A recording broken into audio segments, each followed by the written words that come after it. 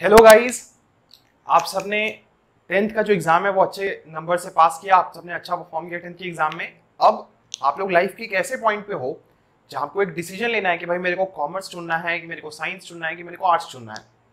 अब देखो साइंस या आर्ट्स एक ऐसा फ़ील्ड है, एक ऐसा स्ट्रीम है, ये दोनों स्ट्रीम्स जिनके बारे में पहले से हमारे पास में बहुत सारा डेटा है, बहुत सारा ज्ञान है, बहुत सारा नॉलेज है। साइंस के सब्जेक्ट से आप पहले से वाकिफ हो।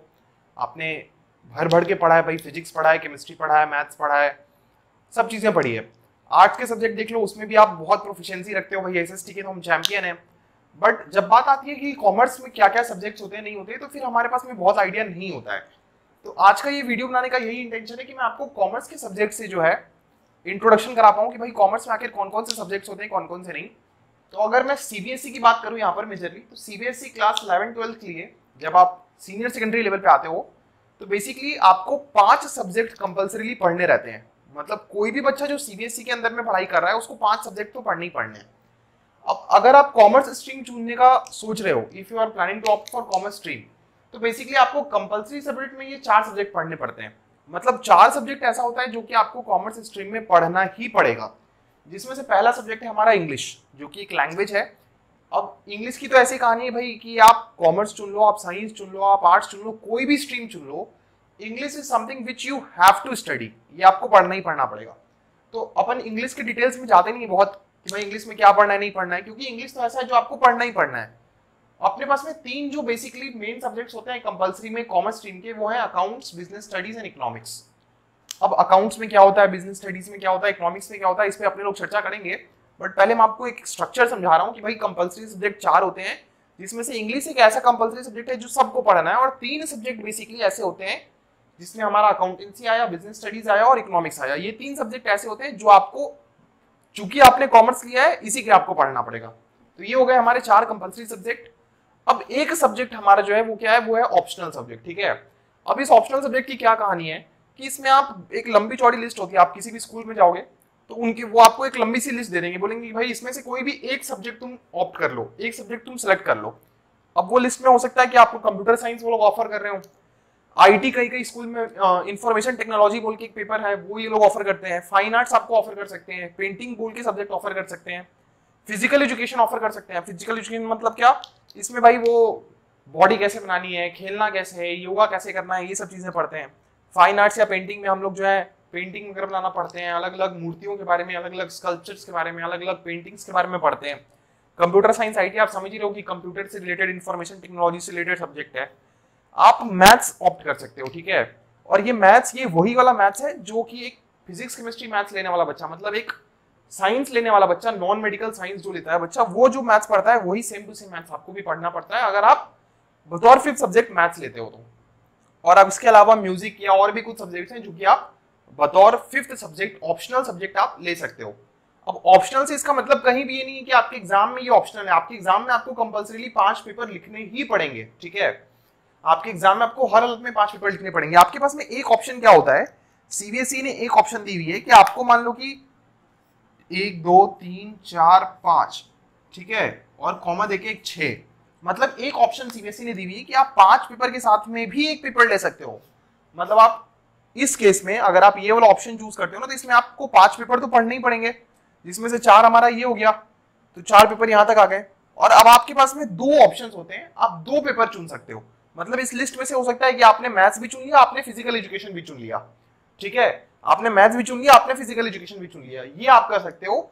और अल्टीमेटली जब आपके रिज़ल्ट होंगे ना, जब आपका रिज़ल्ट बन जाएगा तो रिज़ल्ट में आपको बेसिकली परसेंटेज लिखा नहीं रहता है। वो आपसे सिर्फ़ लोग पूछते हैं कि भाई, तेरे को कितना परसेंट आया, तुमको कितना परसेंट आया? तो जब आपकी परसेंट की बात आती है ना, तब परसेंट निकालने का क्या फॉर्मूला है? वो होता है इंग्लिश प्लस बेस्ट फोर ठीक है? जब आपको परसेंट निकालनी होगी तो ये मान लो कि आपको ये हो गई इंग्लिश तो इंग्लिश तो रहेगी रहेगी। और इसके बाद इन पाँचों में से जो बेस्ट फोर है, वो आप ऐड करके आप अपनी परसेंटेज देख सकते हो। मतलब क्या है? मतलब बेसिकली सीबीएसई ने एक बैकअप ऑप्शन दिया हुआ है। मान लो कि इसमें से किसी एक पेपर मान लो कि आप अकाउंट्स में फेल कर गए। तो अगर आप अकाउंट्स में फेल भी कर गए और आपने पेंटिंग में और मैथ्स में दोनों में आप पास हो तो ये जो मैथ्स का जो सब्जेक्ट है, ये यहाँ पे सब्सटीट्यूट हो जाता है। ठीक है? तो बेसिकली क्या है? बेसिकली एक ऐसा प्रोसेस है जिसमें आप पाँच से ज़्यादा मतलब छह सब्जेक्ट ले सकते हो। And you have to pass in English plus any four पाँच में से आप किसी चार में भी पास हो गए तो भी आप ओवरऑल पास कहलाओगे। तो ये एक ऑप्शन है, जिसकी डिटेल में हम लोग नहीं जाते हैं। बेसिकली हम लोग ये समझ रहे हैं कि भाई कॉमर्स स्ट्रीम में जो है वो पाँच सब्जेक्ट्स होते हैं। ये जो मैंने छह वाला ऑप्शन बताया ना, ये सारे स्ट्रीम्स में ही होते हैं। आप साइंस ले तो वहाँ पे भी होता है, आप आर्ट्स लो वहाँ पे भी होता है। तो बेसिकली क्या है कॉमर्स में चार मेन सब्जेक्ट्स होते हैं, जिसको कंपलसरी सब्जेक्ट्स है। एक ऑप्शनल होता है जिसमें आप कुछ भी सिलेक्ट कर सकते हो, ठीक है? एक चीज़ मैं यहाँ पे और बता देता हूँ कि कुछ कुछ जो बहुत एडवांस स्कूल है, बहुत हाई फाई स्कूल है, वहाँ पे आप अकाउंट्स के बदले में एक बुक कीपिंग बोल के सब्जेक्ट होता है। आप वो भी पढ़ सकते हो। बिज़नेस स्टडीज़ की जगह पे बहुत सारे स्कूल्स में ऑन्टरप्रीनरशिप पढ़ाया जाता है, आप उसको भी पढ़ सकते हो। इकोनॉमिक्स का एज कोई सब्सटीट्यूट नहीं है बट इसको भी आप सब्सटीट्यूट कर सकते हो आप चाहो तो। वो आपके स्कूल के ऊपर डिपेंड करता है कि भाई उनकी क्या पॉलिसीज़ है, उनका अफिलिएशन स्ट्रक्चर कैसा है। बट ओवरऑल अगर मैं मेजोरिटी की बात करूँ इन जनरल बात करूँ तो भाई 95 99 परसेंट केसेस में ऐसा ही होता है कि बच्चे इंग्लिश लेते हैं अकाउंट्स लेते हैं बिज़नेस स्टडी पढ़ते हैं इकोनॉमिक्स पढ़ते हैं और इसके अलावा इन सारे लिस्ट में से कोई भी एक सब्जेक्ट ज़्यादा करके बच्चे जो है फ़िज़िकल एजुकेशन ले लेते हैं या फाइन आर्ट्स पेंटिंग वगैरह ले लेते हैं। और ये जो आपका मैथमेटिक्स है, इसको अगर आपका मैथ्स का बेस नहीं है तो अवॉइड करते हैं लोग। क्यों भाई? क्योंकि पहले तो मैथ्स का पीछे छुड़ाने के लिए कॉमर्स पढ़ रहे हैं। तो वापस से लोग नहीं पढ़ते हैं बट फिर भी अगेन देर आर एक्सेप्शन जहाँ पे लोग मैथ्स भी पढ़ते हैं साथ में। So this is a great combination इसके अलावा आप कंप्यूटर साइंस आईटी भी पढ़ सकते हो बहुत अच्छा सब्जेक्ट है। ये कुछ चीज़ें हुई। अब अगर मैं आपको बताऊँ कि भाई अकाउंटेंसी का मतलब क्या है बिज़नेस स्टडीज़ का मतलब क्या है इकोनॉमिक्स का मतलब क्या है?